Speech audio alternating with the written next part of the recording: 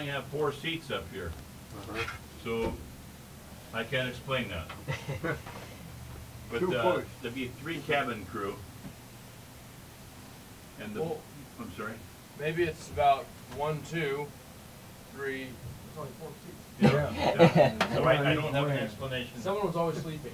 Yeah. That- he had the easiest job. Just keep your eyes closed and don't say anything. Yeah. So that's the navigator seat. That map is of the Philippines right there.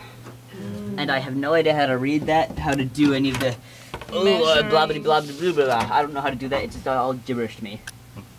All a bunch of lines and coordinates.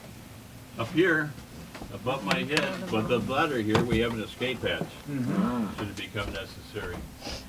When it gets hot, which we've had some warm days, even last Sunday, we took the hatch out Uh-huh. and put a fan in to get some air up here because it gets very uncomfortable. Oh. It does.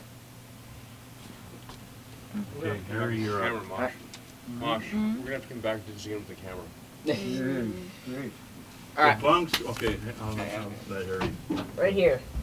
There were six fuel tanks in each wing, totaling, totaling about 12 fuel tanks. Right here we have the fuel selection thingies. fuel selectors. That's how they. Yeah, there's um the four there's um six red ones. The red ones are the left wings. Six green ones to the right wing. Huh. What they do is like just you know pull back, saying which fuel tank they want the fuel to come in or out of. So pull it back, fuel's going out. All right. See the um, there are some lights lit up over there. No, there should be four red lights and four four orange lights. But one of the red lights burst, and we had we, we had a bunch of spare orange ones, so put the orange one there. Alright.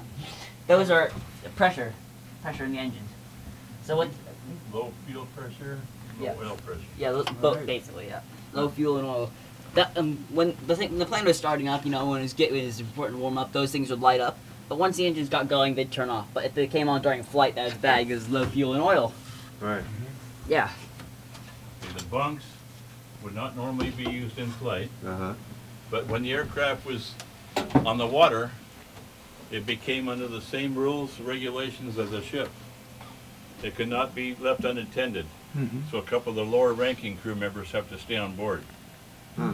So the pilots would have to know navigation, ship navigation procedures, as well as flying. Oh, yeah.